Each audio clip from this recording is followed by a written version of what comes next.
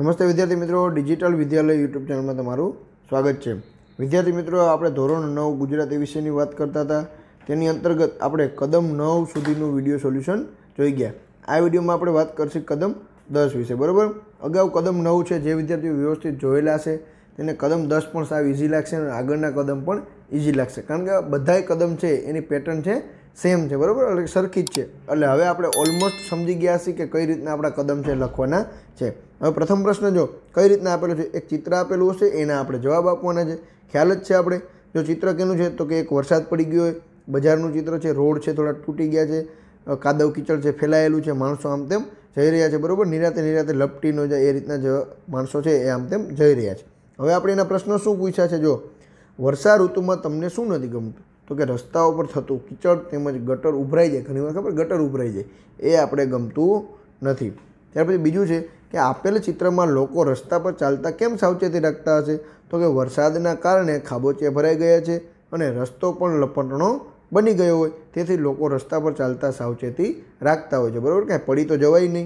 એટલે નિરાતે સાવચેતી રાખતા રાખતા જ જવાય. ત્યાર પછી ત્રીજું કે તમારા ગામ કે શહેરના રસ્તાની હાલત ખરાબ છે તો તમે શું કરશો? હવે તમારું ગામ છે, ત્યાં કોઈ રસ્તો છે, ખરાબ છે, તો તમે શું કરશો? એનો જવાબ તમારે લખવાનો છે, બરાબર? તમારે જાતે લખો, વ્યવસ્થિત મજા આવે એવો જવાબ લખો, એમાં કાંઈ ટેન્શન લેવાની જરૂર નથી. ત્યાર પછી ચોથું, કે તમારા ગામના લોકોને હાલાકીનો સામનો ન કરવો પડે, તે માટે તમે સરપંચ કે પ્રમુખ તરીકે શું કરશો? હવે તમે સરપંચ હો અને તમારા ગામને તકલીફ ન પડે એવું તમારે કરવું હોય, બરાબર? ચોમાસાની ઋતુ હોય તો તમે શું કરશો? એ તમારે જવાબ લખવાનો છે, બરાબર? આવા જવાબ લખવાની ટેવ પાડવાની મજા આવે. એવું જરૂર ન કે આમ વ્યવસ્થિત જ જવાબ લખવાનો. તમારી રીતના તમને ખરેખર જે મનમાં લાગે ને તમારે જવાબ લખવાનું. કે ભાઈ તમે સરપંચ કે પ્રમુખ હો અને તમારા ગામનાઓને તકલીફ ન પડે એવું તમારે કંઈક કાર્ય કરવું હોય તો તમે શું કરો? એનો જવાબ તમારે લખવાનો છે. ત્યાર પછી પાંચમું, તો કે આફત આવે તે પહેલાં તેના નિવારણની તૈયારી કરવી, તે વાક્ય માટે કઈ કહેવત લખશો?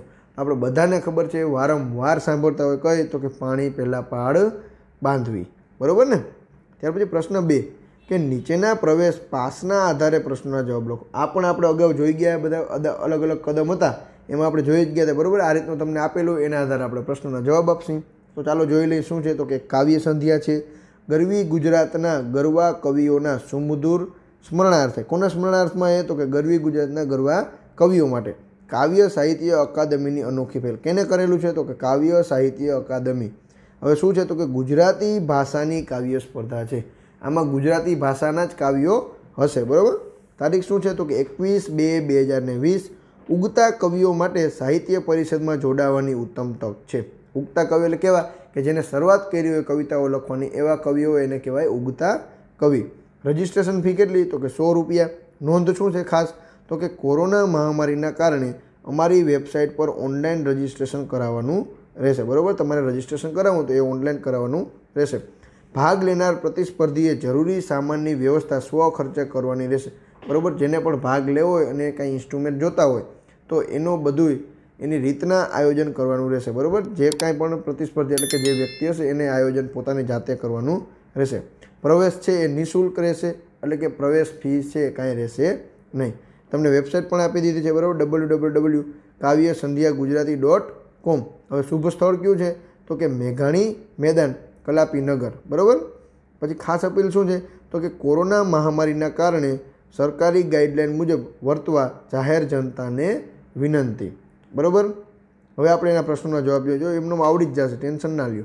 પ્રથમ, અહીં ઉગતા કવિ એ શબ્દ વાપરવાનું પ્રયોજન શું છે? તો ઉગતા કવિ એટલે શું? તો કે જેમને કવિતા લખવાની શરૂઆત કરી છે, આમાં ભવિષ્ય બનાવવા માગતા હોય તેના માટે ઉગતા કવિ શબ્દ છે એ વપરાયો છે. હવે બીજું છે તો કે મીનુએ હિન્દી કવિતાની રચના કરી છે. તો શું તે સ્પર્ધક બની શકશે કે કેમ? તો કે ના, કારણ કે આ સ્પર્ધા તો ગુજરાતી ભાષાની જ છે, બરાબર? ગુજરાતી ભાષાની કાવ્ય સ્પર્ધા છે, તેથી કાંઈ સ્પર્ધક બની શકશે નહીં. ત્યાર પછી ત્રીજું છે કે સ્પર્ધાની તારીખ પસંદ કરવા પાછળનું પ્રયોજન શું હોઈ શકે? તો કે ભાઈ, શું કામ આ જ તારીખ રાખી? તો કે એ દિવસે મહાશિવરાત્રિનો તહેવાર છે તેથી, બરાબર? ચોથું છે કે તમારા પરિવારના પાંચ સભ્યોને કાર્યક્રમ નિહાળવો છે.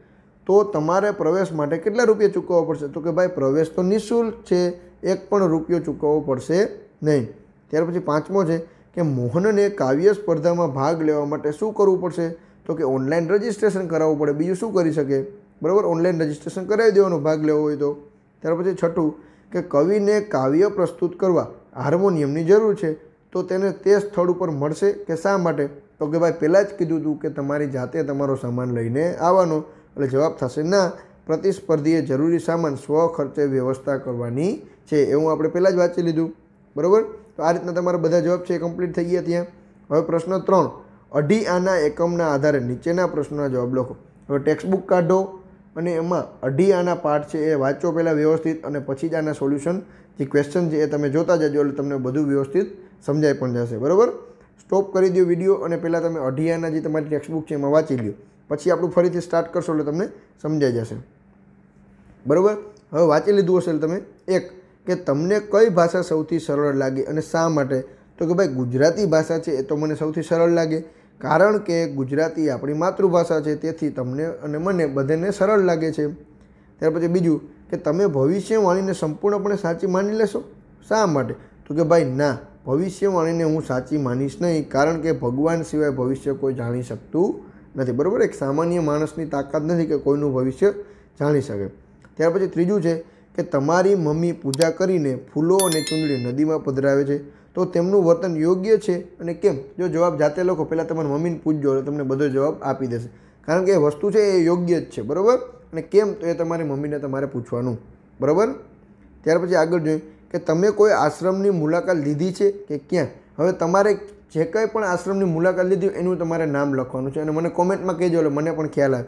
જેમ કે મેં જો, મેં જામનગર સ્થિત એક ગંગાવા આશ્રમ છે ને, એની મુલાકાત લીધી છે. તમારે તમારી રીતના જવાબ લખવાનો છે. તમે ક્યાંય પણ આશ્રમની મુલાકાત લીધી હોય તો એનો જવાબ તમારે મને કહેવાનો છે અને જે કાંઈ પણ આશ્રમની મુલાકાત લીધી એનું નામ તમારે મને કોમેન્ટમાં કહેવાનું. એટલે મને પણ ખ્યાલ આવે કે ક્યાં ક્યાં આશ્રમ આવેલા છે.